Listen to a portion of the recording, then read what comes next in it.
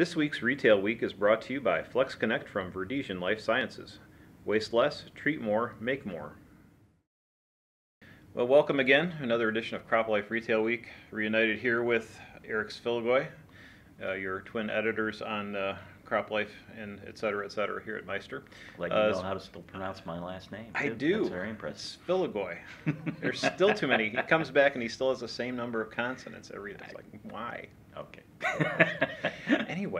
uh, so it's been a busy couple of weeks. Uh, so we've both been, you, mostly have been traveling uh, to MACA and, uh, and MACA meeting, Mid America Crop Life meeting. That was in Kansas City. Very good meeting there. A lot of, a lot of folks in attendance. Uh, mostly talking about what to expect in 2018, and uh, folks were uh, also bragging a little bit about what uh, their companies were doing to help uh, reach with, uh, have have outreach with uh, the public and and consumers regarding the positives that uh, agriculture has to offer them. So. Very Yeah. interesting. Just be watching uh, Crop Life's e-news and magazine for updates on uh, what was said.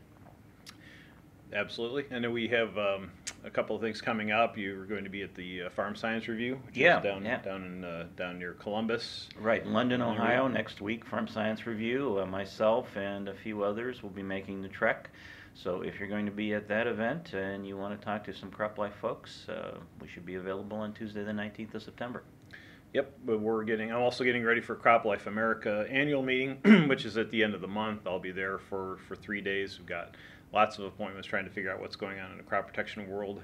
Everything from from dicamba to global uh, to the global movements in the market to consolidation should be a, should be a interesting couple of days there.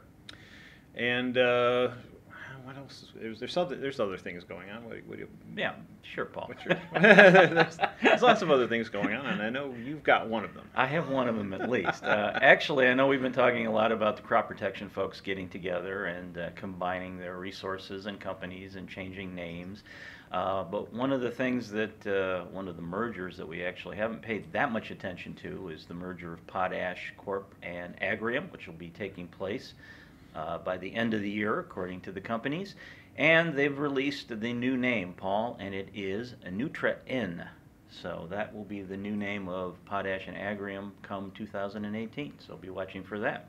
Very interesting. Very interesting indeed. Yeah, it's it, it, the uh, fertilizer industry had gone through so much consolidation, and uh, you know, it's it's been a long break since we've had a major one. So this would be very interesting to see. I know there's some. I think there have been a little bit of concern expressed among retailers about supply and Yeah. things like that. Just maybe some minor concerns about um, making sure that they have enough product, but. It tends to be a concern every year, and, and we can only hope the uh, manufacturers will be able to deliver without any problems. Amen. We'll take a quick break, but when we come back, Paul, I have a brain teaser for you. So get ready. Hi, this is Paul Schrimpf uh, for Retail Week. We're walking through the Farm Progress Show, and we got a chance to stop at the Verdesian Life Sciences booth. We're talking to Jim Pullins, and he's uh, going to tell us a little bit about the innovation you're showing here at the at the Farm Progress Show. Yeah, we're really excited to introduce Flex Connect as a new application system for our Preside CL. In the inoculant business, we have a lot of difficulties applying them because they're in set quantities that have to be used right away. And Flex Connect gives our customers the opportunity to be able to mix these as they need them, save inventory for later, and apply a higher quality product to the seed so the farmer gets better performance in the end. So it's really solving some of the problems that uh, you know the, the retailers are having with some of these products, and inherent in just the, the process of, of doing the seed treatment. Okay, that is absolutely correct. Currently, the seed treatment business is moving more to a no-touch, a closed system. The inoculants have not been part of that system. Flex Connect moves inoculants into a, a closed system that, that protects the quality. We can maintain the quality for as long as 14 days out of the original packaging without any loss, any spoilage, any degradation in the performance of the product for the grower in the end. So they can get the performance they're after, convenience, operational efficiencies, and actually make more margin in the end by eliminating a lot of waste. Well, it's really good news for retailers. So when will we expect to see this rolling out? We're rolling it out here at the Farm Progress Show today. This is our media launch, uh, so this is available to retailers today to implement going into the 2018 season. Well, great, thanks. Appreciate your time, Jim. And that's it from Retail Week from the Farm Progress Show. Well, welcome back. But before you get to your uh, fabulous brain teaser, which is starting to scare me, uh, the uh, wanted to mention that we have the Precision Ag Vision Conference coming up, the sister publication uh, Precision Ag. But it's not just Precision Ag from CropLife's perspective. We're also got uh, we've got a number of presentations on the specialty crop side. It's really a broad look um, at the future of, of, of technology and how it's affecting really every aspect of uh, every aspect of agriculture. Just got a registration from Amazon a couple days ago.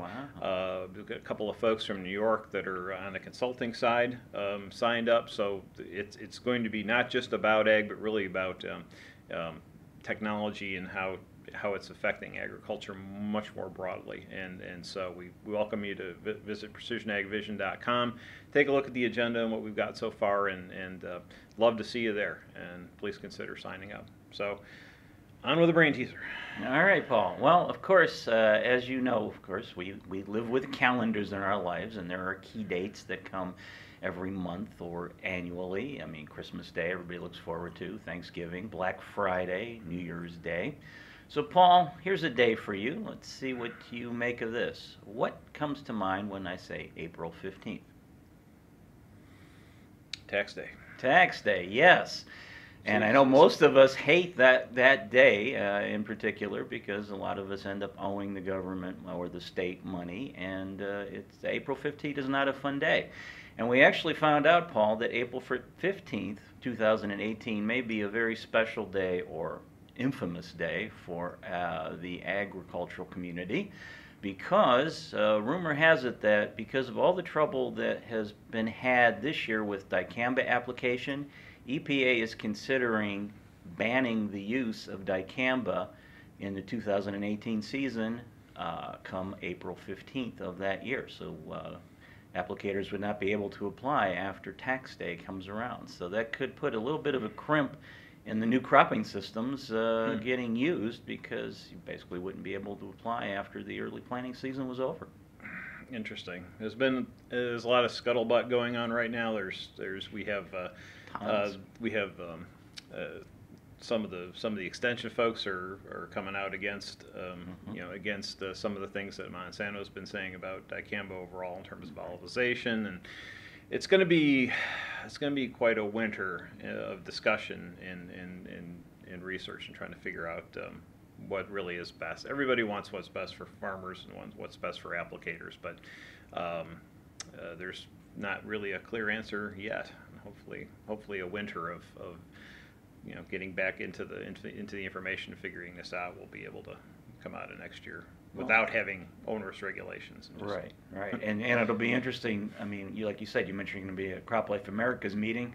Be interesting to hear what's said by the folks there, since a lot of them have a very high vested interest in this uh, dicamba technology.